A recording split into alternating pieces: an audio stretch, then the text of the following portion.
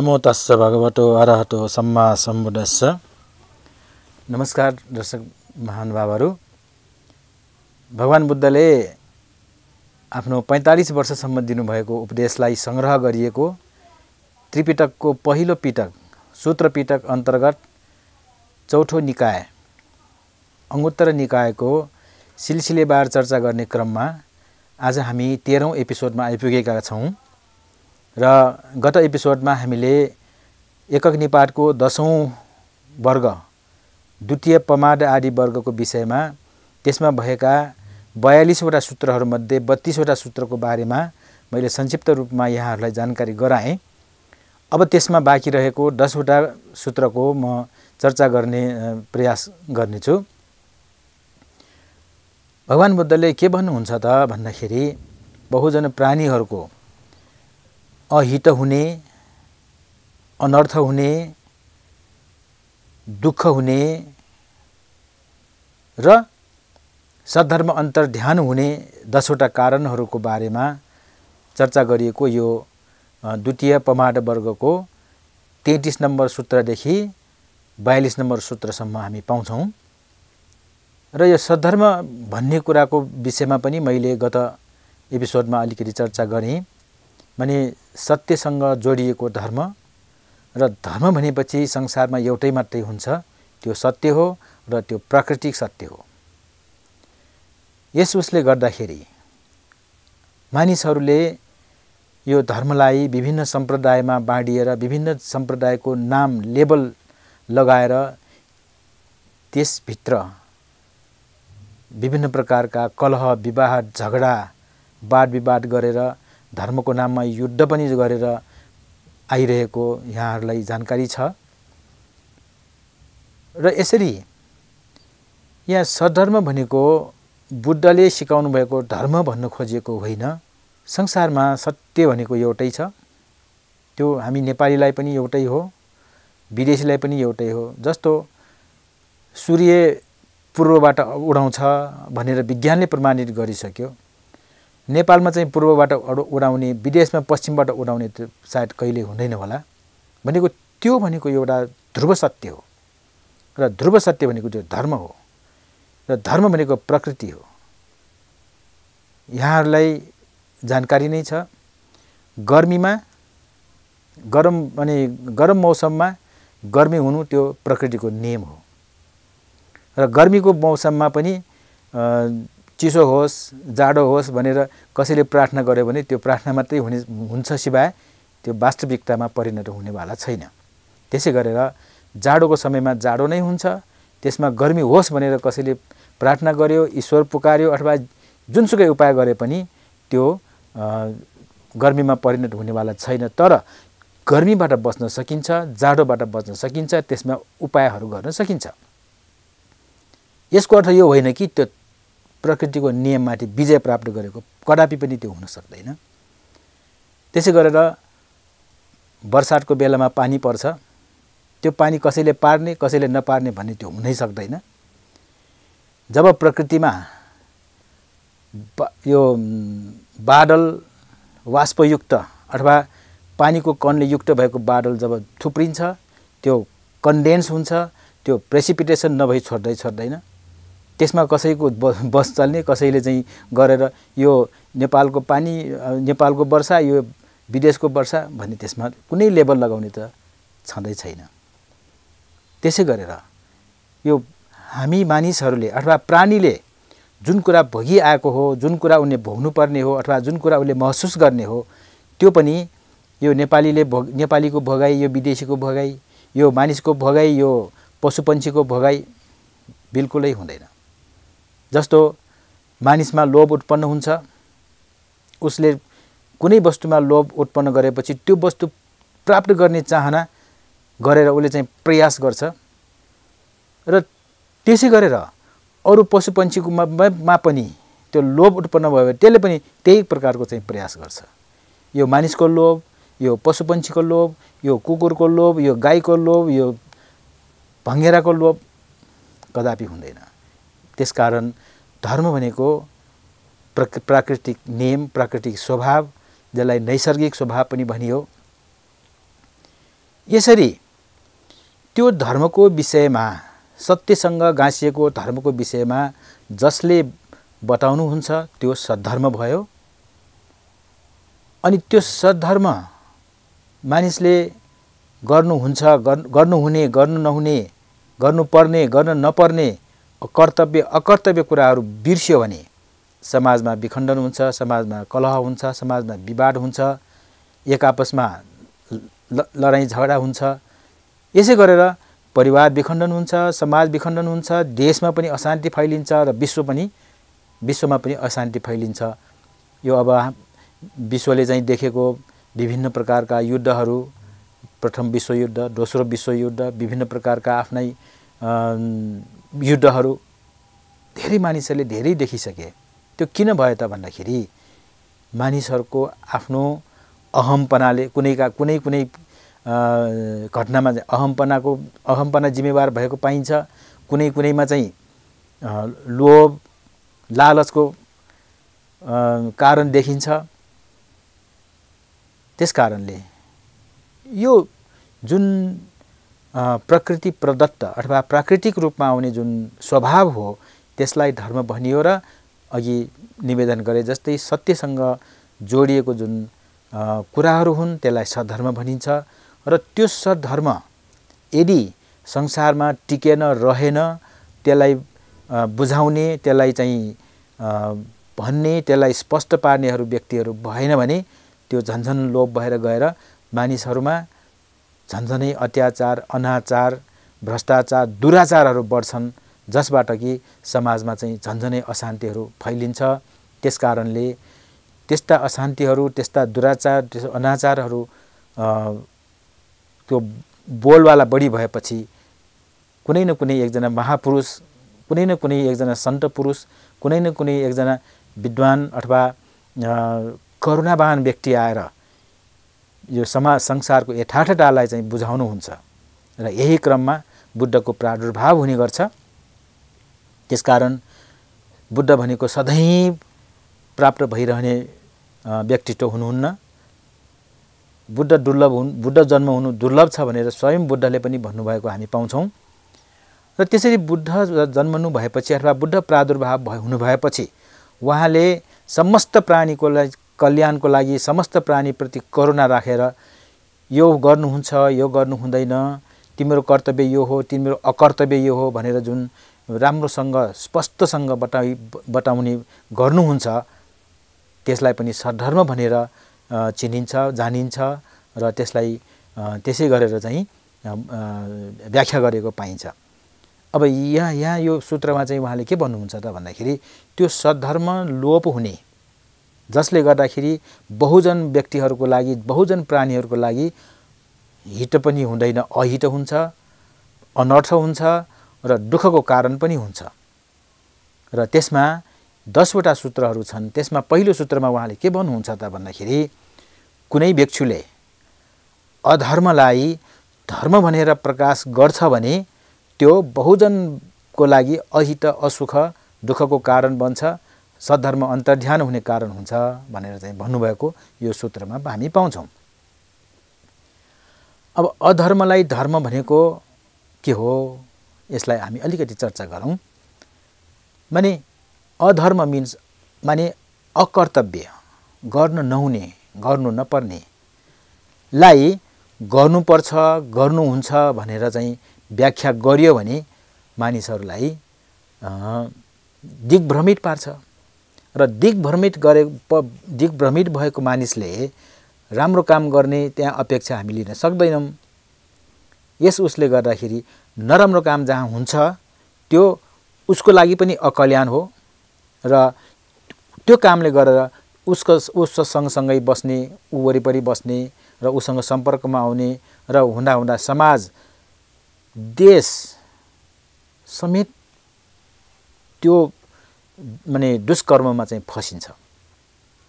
उदाहरण धेरै छन्।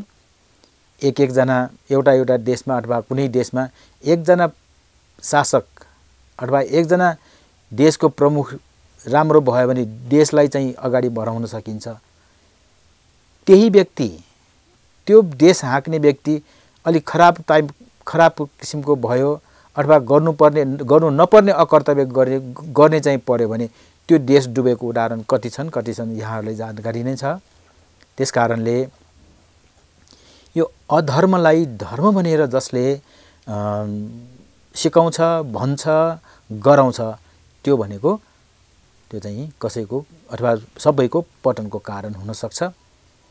र यसरी धर्महरू लोप भएपछि विभिन्न ग्रन्थहरूमा धर्मको विषयमा चाहिँ विभिन्न चर्चाहरू गरिएको छ। महाभारतमै पनि तपाईँ हेर्नुहोस् परित्राणाय साधुनाङ भनेर चाहिँ धर्म संस्थापनार्थ म आउनुपर्छ भनेर भनिएको। त्यो त्यसमा गहन अर्थ छ। त्यसै गरेर धर्मको लागि चाहिँ युद्ध गर्नुपर्छ भनेर कुनै धर्ममा भनिएको छ। वास्तवमा त्यो धर्मको लागि युद्ध गर्ने भनेको के त? अधर्मलाई विनाश गरेर धर्मलाई चाहिँ बढावा दिने भनेको अर्थमा भनिएको धर्मगुरुहरूले तर त्यसलाई चाहिँ अपव्याख्या गरेर अथवा त्यसलाई चाहिँ मिस मिसअन्डरस्ट्यान्डिङ गलत धारणाबाट चाहिँ के गर्यो त आफ्नो धर्म रक्षाको लागि चाहिँ तरवार पनि उठाउनुपर्छ अरूलाई हत्या पनि गर्नुपर्छ अरूलाई हत्या गर्न पनि हुन्छ भनेर यो किसिमबाट चाहिँ त्यो माने अपव्याख्या भएर संसारमा अशान्ति भएका धेरै मुलुकहरू हामी पाउँछौँ। त्यसकारण यो धर्म भन्ने शब्द अथवा धर्म भन्ने वस्तु बडो क्रुसियल बडो चाहिँ संवेदनशील विषय हो। तर त्यो धर्म के हो भनेर त्यसलाई चाहिँ वास्तविक रूपमा चाहिँ बुझ्यौँ भने त्यो त प्रत्येक मानिसले प्रत्येक प्राणीले चाहिँ पालन गर्नुपर्ने प्रत्येक प्राणीलाई प्रत्येक मानिसलाई चाहिँ लागु हुने चाहिँ प्रकृतिको नियम हो।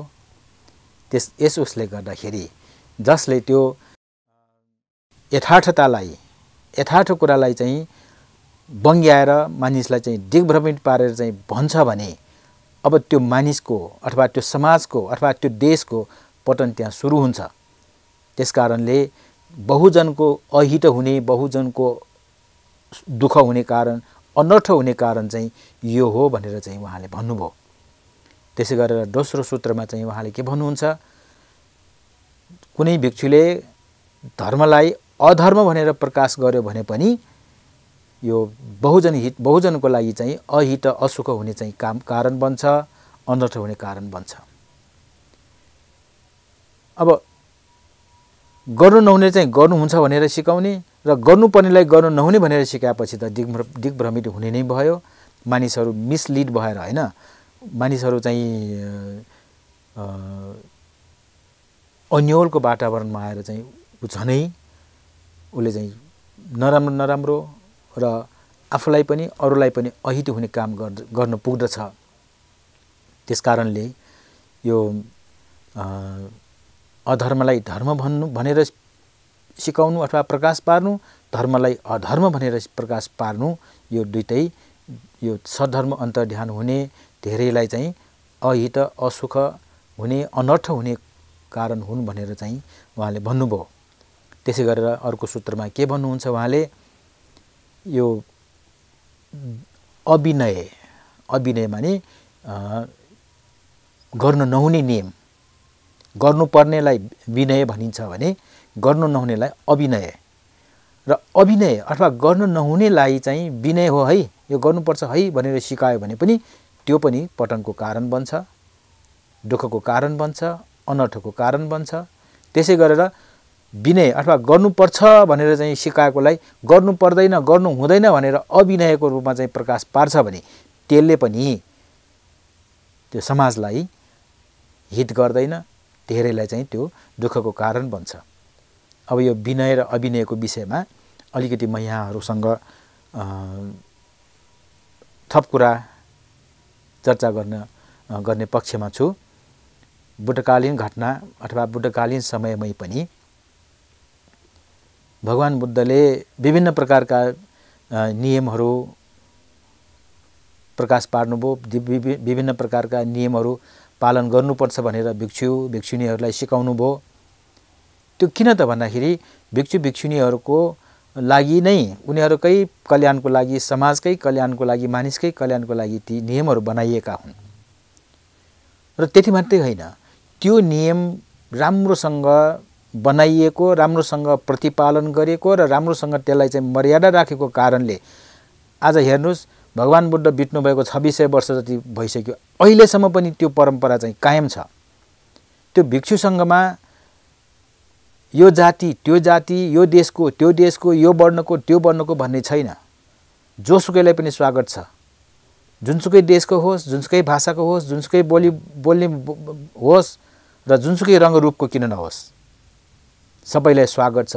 यसरी एकदम बहुरङ्गी भन्नु पर्यो विभिन्न प्रकारका व्यक्तिहरू एकै ठाउँमा आएर र धर्मको अभ्यास गर्ने धर्मको प्रचार गर्ने मानिसहरूलाई समाजलाई चाहिँ धर्मको एउटा निर्देशन दिने एउटा मार्ग प्रदर्शन गर्ने जुन समूह हो सङ्घ भिक्षु सङ्घ त्यो अहिलेसम्म टिकिराख्नु भनेको चान्चुने कुरा होइन। त्यो भिक्षुहरूलाई यसरी एक ठाउँमा एकत्रित गरेर एउटा एक ढिक्का गरेर यसरी निरन्तरता दिन सक्नुमा प्रमुख कारण के त भनेर हामीले निहाल्नौँ निहाल्यौँ अथवा त्यसलाई विश्लेषण गऱ्यौँ भने त्यसमा पक्कै पनि त्यो विनयको कुरा आउँछ माने नियमको कुरा। भगवान् बुद्धले भिक्षुहरूलाई दुई सय सत्ताइसवटा नियम पालन गर्नुपर्छ भनेर चाहिँ प्रतिपादन गर्नुभएको छ भने भिक्षुणीहरूको लागि तिन सय एघारवटा नियमहरू उहाँले चाहिँ विनयहरू चाहिँ प्रतिपा माने प्रतिपादन गरेर चाहिँ सिकाउनु भएको छ। र त्यही विनय अन्तर्गत उनीहरू उहाँहरू एक ढिक्का एकत्र भएर एक मठ भएर चाहिँ आइरहनु भएकोले चाहिँ अहिलेसम्म पनि त्यो भिक्षुसँग कायम भयो। भिक्षुसँग कायम भएको कारणले गरेर बुद्धले सिकाउनु भएको उपदेशहरू हामीले सुन्न पाइरहेका छौँ। र बुद्धको उपदेश सुन्न पाउनु भनेकै बुद्ध स्वयं बुद्धलाई साक्षात् रूपमा चाहिँ हामीले आफ्नो मनभित्र चाहिँ दर्शन गर्न पाएको जस्तो हामी महसुस गर्न सक्छौँ। र यस उसले गर्दाखेरि यो विनयलाई विनय नै भनेर चाहिँ उहाँहरूले चाहिँ राम्रोसँग प्रतिपादन प्रतिपालन गरेर आइराख्नु भएको कारणले बहुजनलाई चाहिँ सुख भयो बहुजनलाई हित भयो बहुजनको कल्याण भयो भन्ने हामी ठान्दछौँ। सायद यहाँहरूको पनि यही मत हुनसक्छ।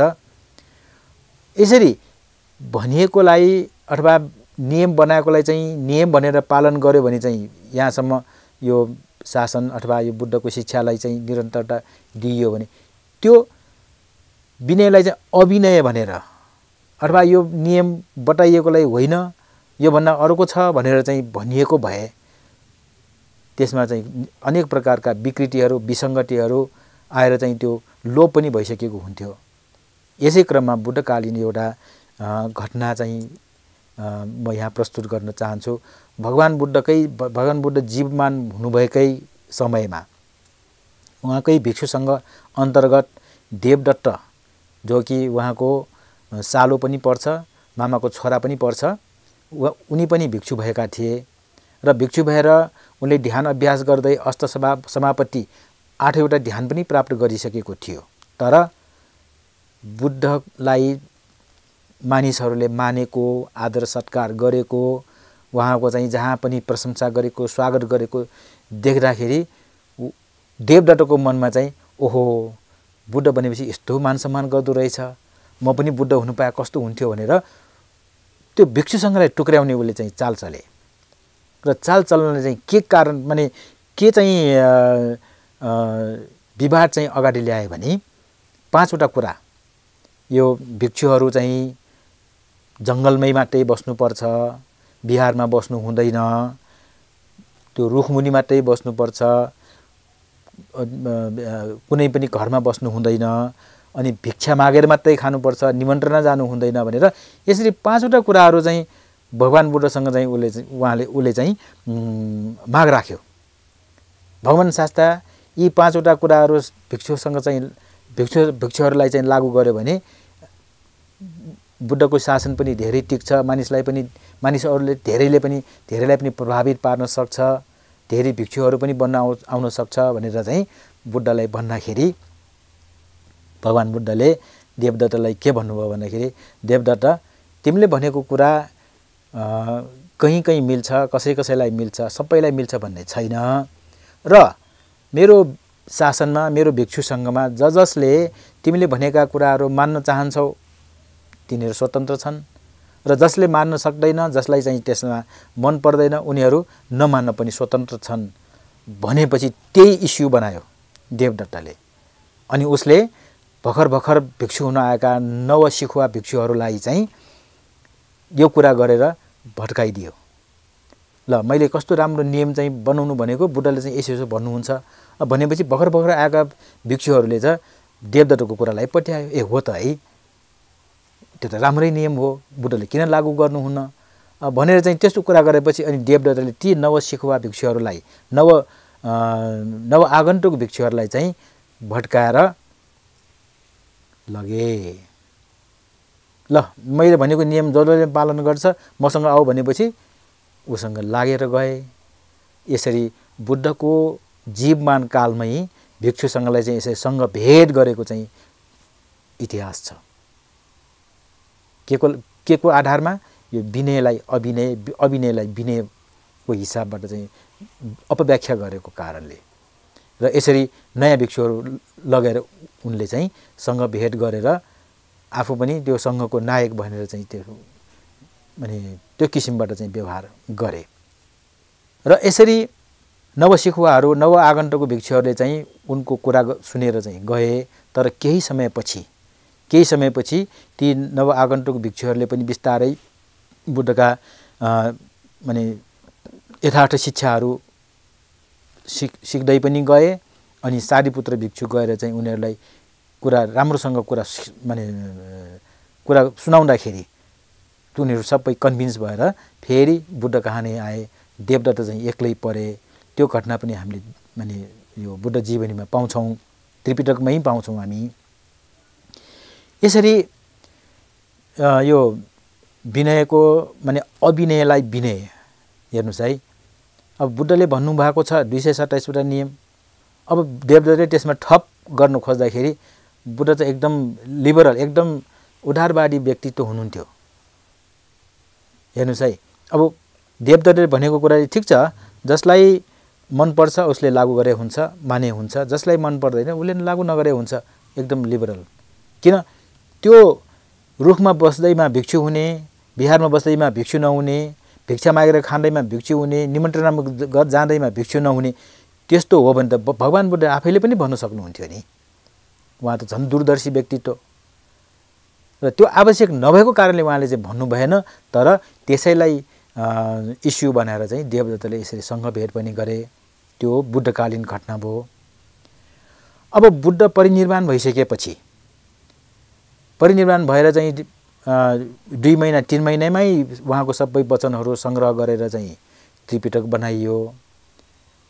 र त्यसको सय वर्षपछि भगवान् बुद्ध परिनिर्वाणको सय वर्षपछि यहाँ वैशालीमा बस्ने केही भिक्षुहरू जसलाई वजी वजी पुत्र पनि भनियो। उनीहरूले पनि एउटा नयाँ नयाँ नियम ल्यायो। र नयाँ नियम ल्याएको चाहिँ आधार के त भन्दाखेरि भगवान् बुद्ध परिनिर्वाण हुनु अगाडि उहाँले चाहिँ एउटा के कुरा भन्नुभएको छ भने हे भिक्षुहरू कुनै कुनै साना साना नियमहरू तिमीहरूले हेरेर त्यसलाई चाहिँ बदले पनि हुन्छ अथवा त्यसलाई चाहिँ हटाए पनि हुन्छ चाहिँ भनेर भन्नुभयो। तर कुन कुन नियम भनेर चाहिँ भन्नुभएको थिएन? अनि भगवान् बुद्धले भन्नु नभएको कारणले भगवान् बुद्धको शिक्षालाई मूल रूपमा मानेर आउने यो पाली साहित्यलाई मानेर आउने जसलाई थेरवाद भनिरह्यो स्थविरवाद भनेर भनिरह्यो उनी उहाँहरूले चाहिँ होइन बुद्धले माने बदल्नु नभएको चाहिँ हामी बदल्दैनौँ जस्तो छ त्यसै गरेर ल्याउँ भनेर चाहिँ उहाँहरूले चाहिँ कन्टिन्युटी निरन्तरता दिनुभयो। तर यो वैशालीका केही बजी पुत्रहरूले चाहिँ दसवटा नियमहरू चाहिँ उनीहरूले नयाँ प्रतिपादन गरे। त्यो दसवटा नियममध्ये यो भिक्षुहरूले चाहिँ मध्याहको बाह्र बजेपछि ठोस आहार ग्रहण गर्नुहुन्न भन्ने एउटा नियम छ। अब त्यो बजीपुत्रहरूले चाहिँ के गर्यो भने अब निमन्त्रणा जान्दाखेरि टाढा टाढा गइन्छ। कहिलेकाहीँ चाहिँ समय पनि धेरै लाग्छ र बाह्र बजेभन्दा अगाडि नपुग्दाखेरि भोजन नै खा न खान नपाउने अवस्था पनि आउनसक्छ त्यसकारण अब त्यति बेला घरि थिएन होला सायद।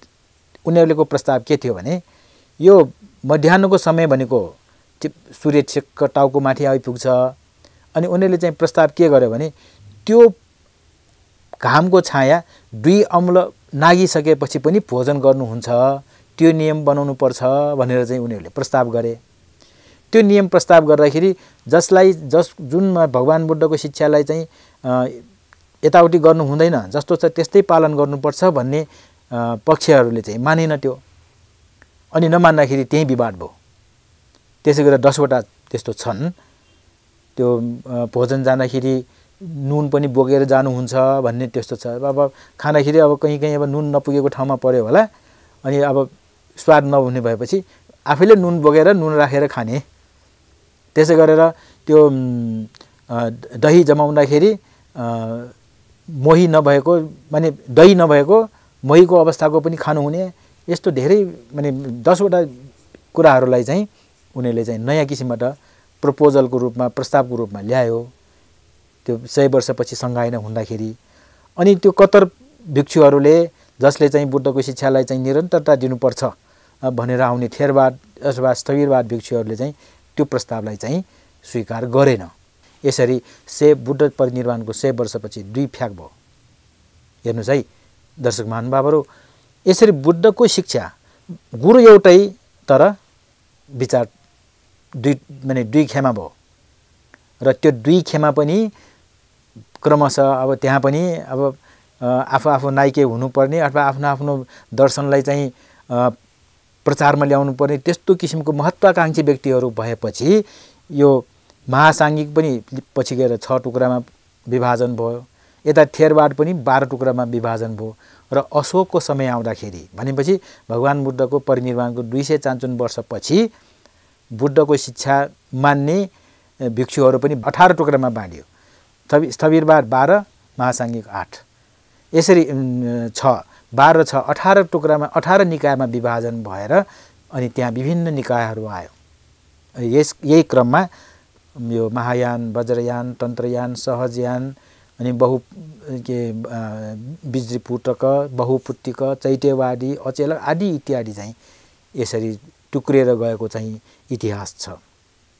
यसरी भने भनेको कुरालाई पनि नभनिएको नभनेको कुरालाई पनि भनिएको भनेर गर्दाखेरि मानिसहरू धेरै मानिसहरूलाई चाहिँ यो माने अकल्याणको कार कारण हुन्छ भनेर उहाँले चाहिँ अर्को सूत्रमा पनि यस्तै भन्नुभयो कि अभिनयलाई चाहिँ नभनिएको कुरालाई चाहिँ माने नियम नभएको कुरालाई नियम हो भनेर व्याख्या गर्नु र नियम भएको कुरालाई अभिनय अथवा नियम नभएको भनेर व्याख्या गर्नु पनि त्यो पनि एउटा माने सद्धर्म ध्यान हुने कारण भनेको छ भने उहाँले अर्को सूत्रमा के भन्नुभयो त भने जुन कुरा बुद्धले चाहिँ भन्नुभएको हो यो भनेको होइन र जुन नभनिएको हो यो भनिएको हो भनेर चाहिँ प्रकाश गर्छ पनि माने माने प्र माने मान्छेलाई बताउँछ भने पनि त्यसले पनि मानिसलाई चाहिँ अहित गर्छ।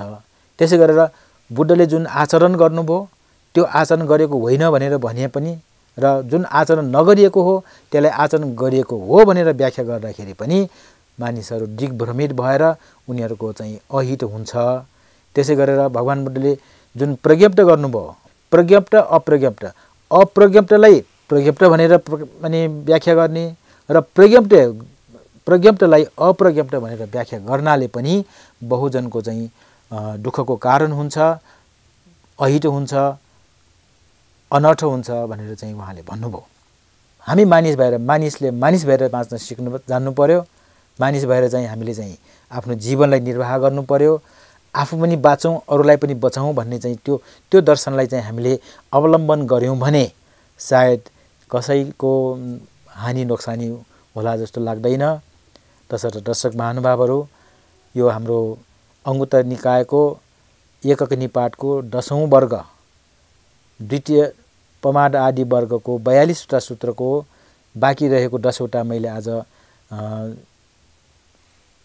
वर्णन गर्ने अथवा त्यस विषयमा प्रकाश पार्ने जमर्को गरेँ। यो मौका दिनुभएकोमा बोडी टेलिभिजन परिवारलाई पनि धेरै धेरै धन्यवाद। यहाँले समय दिएर हेरिदिनु भयो त्यसको लागि पनि धेरै धेरै धन्यवाद। भवतु सब्ब मङ्गलम